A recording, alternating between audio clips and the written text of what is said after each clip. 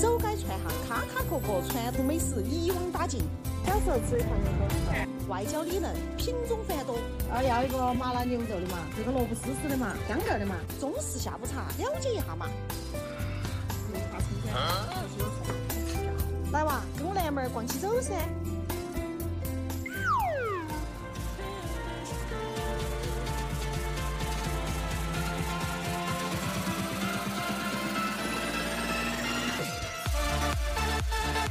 滋味雅间的南门，从街头吃到巷尾，从天亮吃到天黑。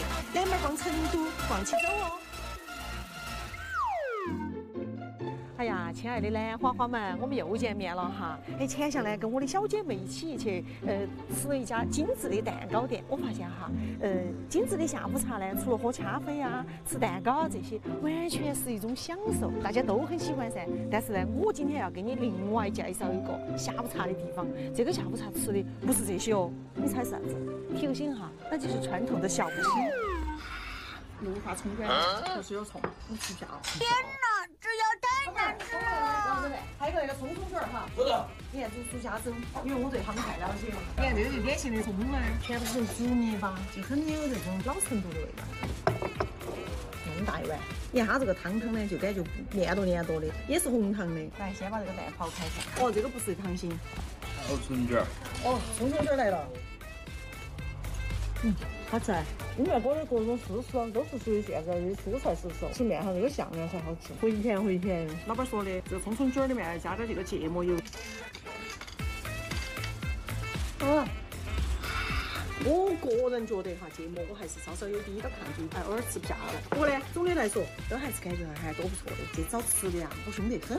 你这个还找不到啊？我噻。这个算是传统名小吃了，但是粉丝还给我另外推荐了一个传统名小吃，叫做和记蛋烘糕，收起，可能是成都市最便宜的蛋烘糕，三块钱一个。哎，你认为会踩坑吗？人家给我留言说和记蛋烘糕好吃吗？我今天就专门来过来。我一听到这，我就觉得有点失望了。他们已经开成铺铺儿，没得那种老成都的感觉。两边都是，这个是卧底吗？一样的吗？一样一家人吧？你看倒是多嘎。啊，要一个麻辣牛肉的嘛，这个萝卜丝丝的嘛，香干的嘛，芝麻的这个。你们相当于是加盟的是吧？没有，都是自己家的。耳朵飞得有点大，现在都比较喜欢吃那种飞得耳朵有点大的。还可以，然后呢，这个皮皮呢，就是脆感没那么好，肉多，皮儿多，其实面筋面筋，皮皮都有点甜，里面是咸的，外头是甜的，什么味这个的确让我想起了那那种我的青春岁月了。其实要说儿时的记忆哈，还有一家，那个就是糖油果子。踩起高跟鞋走这么远的路，哦，在高楼中间终于发现了一个小小的车站。这个就是这儿炒点儿地瓜蟹丝。哦，那个下下找着他们这家小时候吃的糖油果子，来两串。你们原来不是在二院那儿？好久转过来的？看到其实确实有像鹅卵石一样，有点大，一口还整不完。我觉得以前你们都是多大一个来炒炒的嘛？我在里面是吧？嗯。哦，来来来。你认出来他了？认出来了。哦，是不是？哦，是不是？啊。你看我这个认出来。小时候吃的糖油果子。哦。看那个字就觉得好有年神了。天没炒了，这个是刚刚才吃过，才吃过，哦，还好吃。这就叫喜欢就好吃，不喜欢就不好吃。就是，吃那个芝麻香，小小的那个芝麻茴香，哈，好安逸。糖油果子控来说哈，这个像鹅卵石一样的糖油果子，外头的皮皮酥酥脆脆的，里面的糖啊，我觉得不是特别特别甜，我就很喜欢。里面这个糯米也很实诚，就是东西货真价实。也可能你会推荐一些巴适的糖油果子给我，评论区见。我也会逛过去的，在这儿呢，我还是再次谢谢我们各位粉丝些哈，不光是支持我兰姐姐，还支持我们的兰妹儿逛成都。当然呢，你扫描屏幕下方的二维码呢，嘎，回复一个我要进群，我就把你丢到我们的呃兰妹宠粉群里面去，那里面好吃的好喝的啥子都有，关键还有很多的一些美食的爱家都在这儿给纷纷分享自己的美食体验。所以说这是个美食的大家庭，你想不想来呀？想要拍蓝妹逛成都有去哪里逛呢？你看我的普通话都表出来了哈。我们继续说起走噻。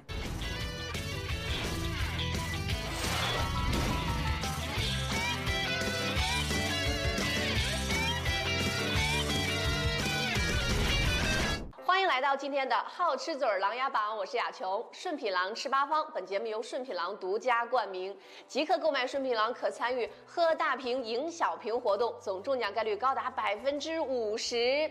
那今天来到我们八方厨房的这一位呢，他非常擅长就是用不同的食材来搭配出健康的食物。来，让我们认识一下我们的杜师傅。噔噔噔噔，Hello，杜师傅你好。雅琼你好。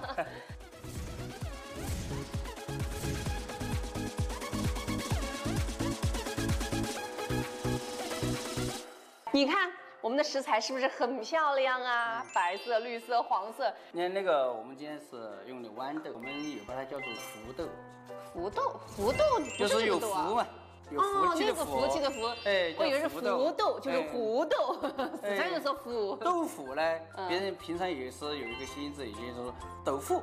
哦，福，哎，是福。我明白了，也哎也就是说我们这个用这个豌豆的话是福气，对不对？哎有福对。然后这个豆腐的话是就是富贵财富、富哎，贵。对对，那您还准备了其他的这个是什么？这个叫做袖珍菇，这个是用了甜椒，这个是用的叉叉是颜色。颜色。对。嗯，哎，这个这个是藿香，藿香我们是摆盘的，用啊就是这道菜我们就就叫做福字豆腐。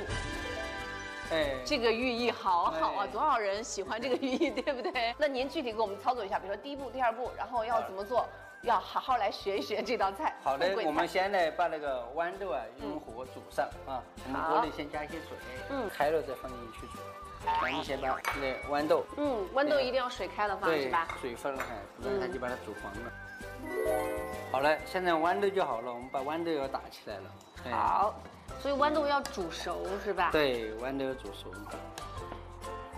嗯，豌豆出来啊，得先用凉水哦挤一挤啊，要凉水，好。把它挤一下，让它变得更加翠绿一些。哦，颜色好看。嗯，对对对。都是小窍门儿啊。嗯，接下来，我们先把这个豆腐，嗯我们来给它塑形。它还要给豆腐塑形。对呀。哦，哎，我看您选的这个豆腐哈，老豆腐这上面对，只有老豆腐才有这样的这种孔啊，粗糙的那种很有口感的哈。所以我们做这个的话，就要用老豆腐，不能用那种就是内酯豆腐那种特别嫩的，是吧？对，那个太嫩了，它吃起是很细腻，但是它没有豆腐的味儿。嗯，我们把它压下去。嗯，你看，我们把那个豆腐哈，这个豆腐就取下来。所以这边角余料是不需要的吗？这个，这个我们取下来过后呢，做成那个老花的形式，打了啊重新给它塑形嘛。嗯，哎，那样。那这个呢？这个就是要要这个是要造型，对吧？对，这个就直接拿来哎一会儿炸一炸。哦，你看我们这个，还有一都不个浪费小一点的，对。哦，又来一个。对，嗯，我们要做个空心的出来，一会儿来装豌豆在里面。哇，好讲究哦。嗯，这个，再弄出一个同心圆。对，对我们要这一圈的部分，一会儿捞油炸哦的。哎，这个时候呢，我们就嗯加点鸡蛋清在里面，让它一个是塑形，再一个是增加它的口感。哦哎，要不然全部都是那种渣一样的，是吧？对对对，哦，加点蛋清。嗯那这里面还需要加别的吗？还要加点儿那个汤圆粉跟那个生粉在里边，哦，是为了让它更呃更凝固成型，是吧？对，让它这成型。哦汤圆粉让它就口感的层次吃起让它那个有点软，嗯哎，再加点咸盐啊。啊，这会儿就要调味儿了，对，这要把它让它这就这会儿就要让它有味在里面，然后就搅拌了吗？搅拌。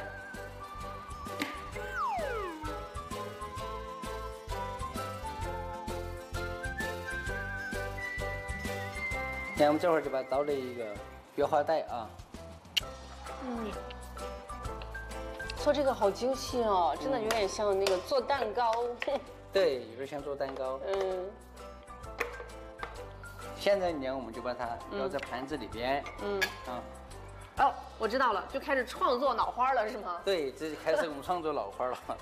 哎呀你看，我们把那个做这个素食的这个传承人，不仅是要学这个专业的素食的技巧，最重要的是他还得学会这个成为一画家呀。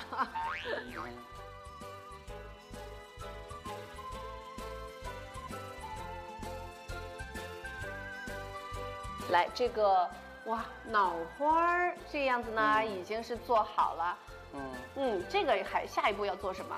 下一步我们要把它蒸制出来。嗯，要蒸。哎，对对对对。好，那我们就上蒸箱。这个我们要做什么呢？这个袖珍菇我们要把它切小一点，跟豌豆啊差不多大的那种小点，这样。蘑菇这个这个小香菇，基本上一年四季或者炖汤都很合适哈。对对对，它是属于四季都可以吃的。嗯嗯。甜椒我们在里面通常要配个颜色，所以我们就切点甜椒丁在里面。然后我们这个时候你要，嗯要手要轻一点，哇，嗯，温柔以待。对。放在米汤里面。哦，马上放到卤汤哦。对，这样子你看，我们倒到里面。这一下就入味，哎呀，哎，豆腐甜甜圈感觉。对。嗯。哦，原来是这样出味的。因为本身豆腐，其实本身豆腐它是非常容易吸那个味道的，所以你看这边炸了之后，马上放到这个卤料里面，让它这样边煮，然后边这样卤，所以就这个更容易入味儿，是吧？对对对。造型感。对，人这会儿，嗯，添添点豌豆在里面，就让它那个恢复它的那个原形。嗯。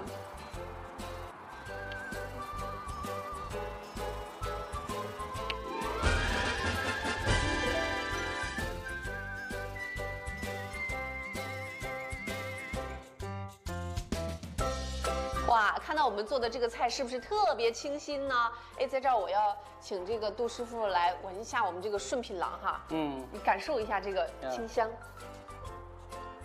哎，对，很清香，有一股清香味道。嗯，哎，这个酒呢，以前我们朋友聚会啊喝过，比较绵柔，很香。哎，你看专业的厨师对这个的评价就是他他比较懂哈。嗯，来，今天我看看您做的这个，真的让我觉得。这个色香味上面，首先颜色就吸引了我，特别好。你看看这个脑花儿，这做的也太香了吧！来，我用公筷给您，哎，您尝一下这个哈，看看今天做的这个怎么样？好漂亮啊！来，你也尝一下。我也尝一下这个。哎呀，我看你就觉得，好想知道这是什么样的味道啊！然后我再给您来一点这个，这个我觉得也很舒服哈。对对，好，然后豆腐在里面应该是也比较筋道的啊。嗯。来尝尝，尝尝。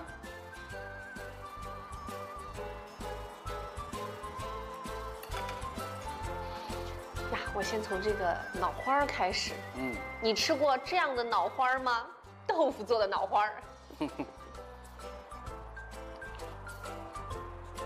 嗯，哎，我真的我吃进去，我才觉得，哦，原来这个是豆腐。就你现在吃有那个豆腐的那个豆香味儿。对对对。还蛮浓的耶。哎，你如果是你把那个藿香跟它一块儿吃，可能藿香和它一起是吧？嗯。啊，我觉得你在家也可以这样，就是把豆腐打了之后，你看加一点点盐就可以了。其实没有加太多的那个调料，但是真的很好吃。嗯。而且有了那个蛋清在里面，就觉得很嫩哈。对。